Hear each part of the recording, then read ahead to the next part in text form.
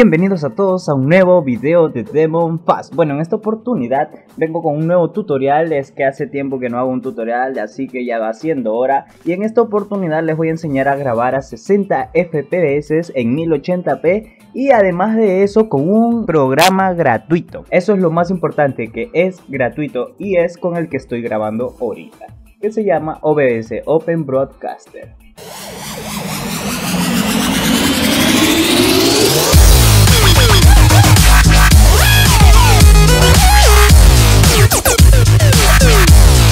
Bien, ustedes se dirigen a mi página eh, que es demonfast.online, lo voy a dejar en la descripción del video sin acortadores, nada, y ustedes ingresan. Bueno, ustedes lo pueden buscar acá, simplemente está en la página principal, como pueden ver, o si no también lo van a encontrar acá en este slider y van a encontrarlo ahí. En caso no lo encuentren acá ya que yo voy a estar actualizando mi página y va a ser así siempre. Bueno, le dan ahí, le dan clic una vez que le dan clic, esperan que cargue la página y simplemente le dan clic en descargar. Una vez que se dirijan a la página oficial de Open Broadcaster, van a encontrar esta página y le van a dar a descargar instalador. Lo descargan donde más les parezca y yo lo tengo aquí en el escritorio. Lo instalan, es simple, le dan next. Dice que está corriendo, así que no lo puedo instalar. Bueno, esto es simple, le van a dar siguiente, siguiente, siguiente, no van a mover nada, van a dejar que se instale en donde esté eh, dispuesto a ser instalado, normalmente es en el disco C, pero yo recomiendo que lo dejen así porque en realidad el programa no pesa mucho. Bueno, ahora vamos a ir a lo más importante, a la configuración.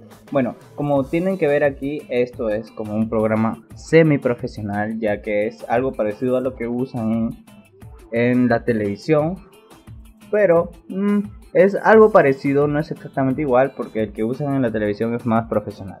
Bueno, aquí como pueden ver están las escenas. En estas, estas escenas normalmente se usan para hacer cambios. Como pueden ver, ustedes aquí, por ejemplo, están teniéndolo en negro por si es que quieren hacer una página de espera. Aquí crean otra escena en donde quieran hacer una página de demostración y una vez terminada ese video, ¡pum! le dan cambio y como pueden ver se sucede así como una transmisión. Ya, y ustedes lo van a estar viendo así. Bueno, una vez que ya les expliqué esto de las escenas, viene aquí a la parte derecha en donde está las propiedades o se puede decir los objetos que tiene cada escena. Aquí como ven está vacía, pero la de aquí está llena porque yo ya he grabado antes, lo he estado usando, he hecho transmisiones en vivo de juegos y transmisiones en vivo en mi página, por si es que a alguien le interesa es Demon Pass en Facebook. Bueno, aquí va lo más importante de este programa porque aquí es donde se mezcla todo. Bien, aquí como pueden ver yo tengo una captura de juego que no debería estar acá, de hecho la puedo eliminar. Ya, vamos a eliminar todo para poder explicarles. Va a ser un video más o menos corto, no va a ser tan largo ni tan corto. Bueno, aquí como pueden ver está la captura de pantalla, no la puedo eliminar porque esa es con la que estoy grabando. Así que vamos a darle más. Y aquí como pueden ver están muchas cosas. Una cosa que dice que es obsoleto el texto. Es un texto antiguo, uno simple. Y aquí está el texto GDI que tiene más cosas como sombra, trazo que se le dice eh, y otras cosas más, ¿no? Y origen de color, eso es para una pantalla de color, imagen, una imagen que ustedes quieran poner puede ser GIF. Galería de imágenes es para que eh, se puede dar efectos, efectos a las imágenes para que se pasen así, para que se muevan y se pueda ir viendo esas mierdas. O sea, eso se va configurando. Fuente multimedia. Fuente multimedia puede ser algún archivo que ustedes tengan, eh, puede ser un video, puede ser, no sé, eh, cualquier otra cosa, ¿no? Un GIF también. Eh, una escena, puede ser una escena dentro de otra escena, o sea, por ejemplo, ustedes tienen aquí armada una escena y tienen un montón de objetos, ya, esa escena puede ser un cuadrito aquí bien bonito, ya, esa escena puede servir, puede estar dentro de otra escena, como por ejemplo puede ser que se reproduzca cada vez que alguien se suscribe a tu canal, ya, esa es una escena que se reproduce con el nombre y todo eso, ya, bueno, eso también sirve. Listo. Dispositivo de captura de video. Esto es para las cámaras. Explico porque a veces la gente no sabe eh, para qué sirve cada cosa. Dispositivo de captura de video es para cuando tú conectas una cámara y quieras grabar con esa cámara. Eh, les mostraría ahorita, pero mi cámara está descargada y bueno, me voy a demorar y quería hacer este video para no dejar eh, mi canal sin videos. Y capturar ventana es para Normalmente puede ser para eh, Google Chrome, por ejemplo, si tú no quieres ver que se vea tu inicio, pones capturar ventana y solo se captura el Google Chrome. O puede ser para capturar un juego que sea en una ventana, que esté en una ventana. Por ejemplo, Rakion, que a veces se abre en ventana, Ace Online. Eh, no sé qué otros juegos se pueden jugar en ventana, así que bueno, yo me explico más o menos ustedes me entienden, ¿no? O sea, se muestra la ventana, o sea, si tú la chicas solo va a grabar, solamente va a grabar ese pequeño pedazo, nada más. Solamente esa ventana. Ahora capturar juego. El capturar juego normalmente sirve para, para los programas que son en pantalla completa. No sirve para capturar este, ventanas, ¿me entiendes? También puede servir, claro, pero eh, normalmente no sirve, solamente se funciona con algunas aplicaciones. Creo que la aplicación tiene que estar configurada para que sea en modo ventana, pero aún así lo detecte como una aplicación de pantalla completa. Y captura salida de audio es eh, para captar algunos parlantes. O sea, esto de acá no sé mucho para qué sirve. No estoy seguro si sirve para la música, pero eh, no, no, no, no, no lo he usado y casi nunca he visto que alguien la use, así que no podría explicarles muy bien. Pero yo creo que se usa para la música.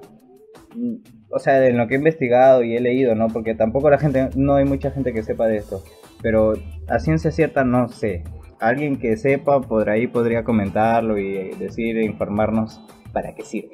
Ya, ahora, captura de pantalla. Esto es para capturar la pantalla completa. Es decir, tú abres un juego y si está en pantalla completa, pantalla en pantalla eh, en, modo ventana, igual lo va a capturar, va a capturar el fondo. Es decir, va a capturar toda la pantalla. Si tú tienes una ventana, por ejemplo esta de acá, y tú, lo, tú le pones captura de pantalla como lo que estoy haciendo ahorita, va a captar incluso el fondo, incluso todo esto, no solamente la ventana, todo, todo, incluyendo el mouse, todo, a menos que tú le pongas claro en propiedades captura del cursor que se lo quites, ¿no? Obviamente. Y eh, más, esto también sirve para las personas que tienen varias pantallas, porque por ejemplo yo ahorita solamente tengo una. Vamos a poner captura de pantalla. Yo tengo captura una pantalla, ¿ya? Esta es la que yo tengo. Pero si tuviera una más conectada aparecería acá y tú podrías hacer que solamente se capture esa ventana y que configures todo en otra ventana. Digo, eh, que solo se capture esa pantalla y que configures todo en otra, en otra pantalla. Normalmente se usa para eso. Ya, esto vamos a eliminarlo porque no sirve. Y vamos a entrar a captura de audio. Ya, captura de audio normalmente es los micros. Y esto se usa más que todo cuando tienes varios micros. Porque por ejemplo aquí yo tengo un micro configurado ya ustedes me van a escuchar ahorita mientras yo hago ahora cómo se aumenta ya esta es la configuración común del micro que tienes conectado ahora si tú no quieres usar esto simplemente lo muteas y le das a una captura de entrada de audio y lo, igual lo va a detectar, no hay ningún problema. O sea, tú puedes tener esto y el otro. El problema es que si tienes los dos al mismo tiempo se puede escuchar como un eco. O a veces no, a veces se desconfigura, a veces no se desconfigura. Pero yo recomiendo que solamente uses esto y acá le pongas los filtros y uses las propiedades porque es prácticamente lo mismo. Ahora, el browser source es eh, un buscador y tú puedes poner una página en concreto aquí. ¿Entiendes? Una página. Ya esto normalmente se usa también para eh, poner eso de detectar si alguien se suscribió a tu canal y eso, ¿ya? Pero eso no te voy a enseñar aquí, para eso puedes buscar otro tutorial, ya que yo no hago eso, yo no hago transmisión en Twitch, normalmente lo hago en YouTube o en Facebook. Bueno, aquí, como les explico, aquí está el audio del escritorio, que es el básico. Aquí también en entrada de audio también puedes poner audio del escritorio, o sea, pero estos son los que vienen por defecto, obviamente. Como yo les digo, esto ya está acá, así que no es necesario configurarlo. A menos que quieras ponerle filtro, propiedades y esas cosas, ¿no? Pero, o sea, no necesitas agregar uno acá. Y bueno, estas transiciones de escena, cuando yo les, lo que yo les digo es de esto, por ejemplo, le pongo corte y yo le doy escena 2, ¿viste? En seco. Pero si le doy en desvanecimiento y le pongo, por ejemplo, aquí le voy a poner 5, 500 ms 0.5 segundos, ¿ya? Esto normalmente es 1000 ms, 1000 ms es un segundo, así que 500 ms es 0.5 segundos. Le das esto y ves cómo desaparece. Ya, si yo pongo acá, por ejemplo, le pongo un 5 más y esto, ves cómo desaparece lentamente. Ya, vamos a dejarlo en, en lo que es normalmente 300. Esto es lo más agradable para el usuario, ¿no? Ya, y ahora vienen los controles. Iniciar transmisión es para transmitir en vivo, eh, ya sea en tu canal de YouTube, en tu canal de Facebook en tu canal de Twitter, en No, en Twitter, bueno, si es que en Twitter hay una manera de transmitir, no lo sé, pero puede ser porque hay una configuración que te permite transmitir en cualquier dispositivo que ahora lo vamos a ver. Bueno, eso es para eso es iniciar transmisión. Ahora, eh, aquí debe aparecer un botón que dice iniciar grabación. Yo lo tengo aquí en que dice detener grabación porque obviamente estoy grabando. Así que eso de ahí es lo que usas para grabar, pero antes de grabar obviamente primero tienes que configurar las cosas para que se vea como tú quieras. En modo de estudio es para que por ejemplo, aquí a la derecha es lo que tú ves y aquí a la derecha es lo que tú configuras. Aquí a la derecha se va a mantener igual, mientras que aquí a la izquierda está configurado, está configurándose, ¿me entiendes? Se va a ver, aquí se está viendo lo que está actualmente. Una vez que tú quieres hacer que se mantenga así, quitas el modo estudio y esto se pone así, automáticamente ya está cambiado. Vuelves a poner el modo estudio y tú esto lo agrandas, quitas el modo estudio, pones modo estudio y lo sigo configurando. Bueno, yo lo voy a quitar porque obviamente no estoy haciendo una transmisión en vivo, estoy haciendo un vivo de explicación. Bueno, ahora vamos a darle a configuración. Bien, aquí en general esto de acá lo vamos a dejar exactamente como está.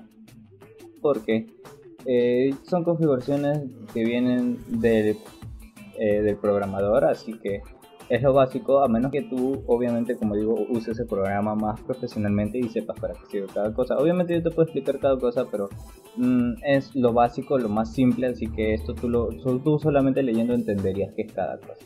En emisión está lo que yo te decía de iniciar transmisión. Aquí tú puedes poner un servicio de transmisión que están los por lo defecto. Twitch, YouTube, Smash, Mixer, Dailymotion, Facebook, Restream, Restream, Live Edu, Twitter. Ya. pero no solo puedes usar estos, o sea, aquí tú puedes poner cualquiera y listo, pero hay una que se llama personal, personalizar el servicio de transmisión. Bueno, cuando tú haces una transmisión en vivo, supuestamente debes tener una clave de acceso y un URL ya en cualquier servidor que tú realices una transmisión, supuestamente. Ya, pero si no lo tienes, entonces simplemente puedes usar estas de acá, pero si en la página que tú decides hacer transmisión no, no, está aquí, simplemente vas a tener que usar esto. Y si no lo tienes, pues vas a tener que buscar la forma de encontrarlo para poder ponerlo aquí, ya que esto de acá es permite que sea multiplataforma, o sea, puede ser de celular, tablet, un servidor, o sea, supuestamente un servidor que solamente es para tablets, un servidor que supuestamente es para celulares, puedes ponerlo acá y hacer una transmisión en vivo. Bien, en salida le vas a poner, en, te vas a quedar en modo sencillo, ya que si le pones en modo avanzado hay muchas configuraciones que ni siquiera yo entiendo y simplemente las tienes que dejar en default y al final si mueves las cosas los videos salen mal y a veces no entiendes por qué.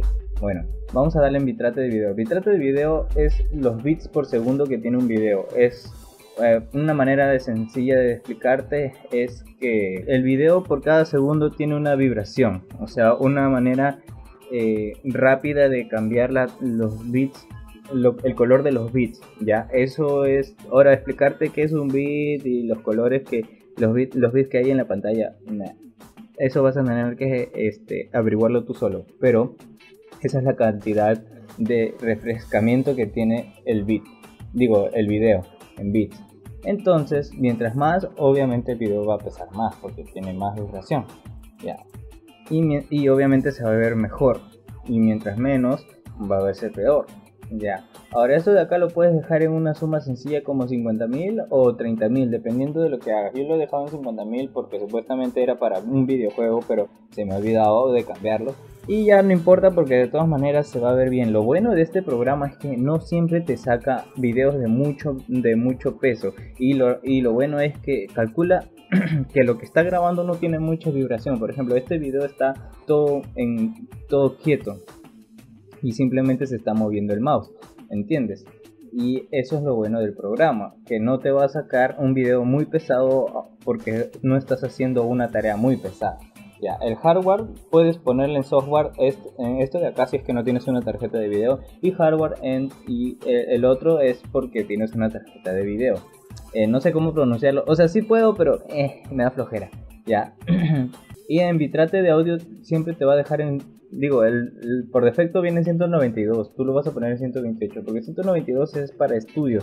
O sea, si tú tienes un estudio y piensas grabar con esto, ya, esto sí te sirve. Pero si solamente piensas grabar un video como lo que estoy haciendo yo, déjalo en 128 porque YouTube te pide 128 como base en un audio. Y si tú tienes un buen micro 128 te va bien. Ahora si tienes un mal micro puedes ponerle un poco más, pero de todas maneras se va a escuchar mal porque tienes un mal micro. Cómprate un buen micro. Ya, habilitar codificador de avanzada, déjalo así. La ruta de grabación es donde se va a guardar el video que estés grabando. Calidad de grabación la vas a poner igual a emisión, o sea, esto de acá. Esto de acá va a ser exactamente lo que tú grabes. Recuerda que emitir en directo no es lo mismo que grabar. Ya, ahora, formato de grabación te va a venir por defecto en FLV. Tú le vas a poner en MP4 porque MP4 es el code mundialmente más aceptado. Y en configuración personalizada de Muxer no le vas a poner nada. En audio lo vas a dejar todo igual, a menos que tú estés configurando un micro profesional. Obviamente, como digo, esto de acá tienes que buscar en YouTube cómo configurarlo para un micro profesional. Yo solamente te estoy enseñando lo básico para que grabes en 1080. Bien, ahora aquí, bien. Mira, aquí van a haber dos resoluciones: resolución de la base y resolución de salida. Y aquí dice lienzo y escalada. Bien, ahora aquí esto es simple de entender. Resolución de la base es esto. Este cuadradito que ven acá tiene una resolución que nosotros no lo vemos a su 100% resolución porque lo tenemos ahí para editarlo más pequeño. Pero obviamente esta es la resolución base en la que se está editando. Por ejemplo, aquí dice 1080p esto es 1080p, ya el cuadro va a estar escalado a 1080p y aquí se va a editar como si el video fuera 1080p. Ahora, resolución de salida es cuando ya está grabado el video. Cuando tú grabas el video, este video va a, va a tener 1080p. Lo que hace este programa es reescalarlo a lo que tú quieras. Por ejemplo, si tú tienes, si tú tienes un monitor de 1720, 1720p y lo quieres poner en 1080, aquí lo haces. Eso es lo que yo estoy haciendo porque yo tengo un monitor de 1360. Bueno, en filtro de escalar, en filtro de escala, si ustedes están escalando un video, por ejemplo, yo estoy haciendo esto, esta pantalla es de 1360 pero lo estoy escalando a uno de 1080 le ponen lanzo. ¿por qué? porque esto de acá hace que salga más bonito. Obviamente hace que el programa trabaje más pero lo hace. Entienden el video va a salir mejor no va a salir tan feo. Bien ahora en FPS lo van a poner en los que, lo que ustedes quieran como yo estoy grabando la pantalla lo he dejado en 30 eso significa que el video no va a pesar mucho y si lo ponen a 60 el video va a pesar más. O, acuérdense de eso porque FPS son frames por segundo y los frames por segundo mientras más sean obviamente más va a pesar el video.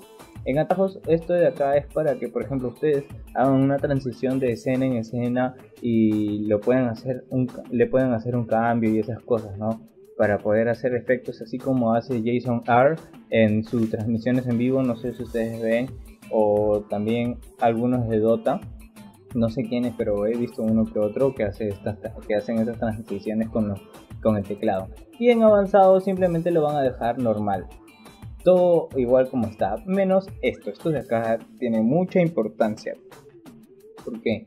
Porque mira, dice general, proceso prioritario. Esto significa que el programa que está grabando va a tener un proceso prioritario, es decir, que va a usar más CPU. Esto de acá normalmente no importa ponerlo en alta porque en realidad el video igual va, a salir igual, simplemente se va a demorar un poquito más en salir. Y por ejemplo, si tú te pones a pensar y estás grabando y no importa, no importa que el video salga 5 o 6 segundos después que, la, que el que tú le pondrías en alta, no importa porque en realidad va a salir con la misma calidad. Entonces tú le das en proceso prioritario inactiva. Esto significa que el programa va a ser casi ignorado. Pero el programa va a grabar, va a seguir grabando. O sea, va, a grabar con la menos cantidad de memoria que pueda gastar, con la menos cantidad de todo recurso que se puede usar para grabar. Pero va a grabar bien, a 60 FPS, no importa. Así sean 120, 144 FPS, lo que tú quieras. Así, igual se va este igual se va a grabar bien. Ustedes le dan a inactiva, esto de acá sirve para que el programa no gaste muchos recursos, es más, casi nada. Cosa que tú cuando estés grabando, el, el, juego que sea no te va a interferir, no te va a interferir para nada. Le das inactiva, le das a aplicar, aceptar y simplemente te pones a grabar y listo, haces un tutorial como yo haciendo y hablando pendejadas. Bueno, nos vemos en el siguiente videoblog, gameplay o tutorial que haga. Espero que les haya gustado este video. Chao, chao.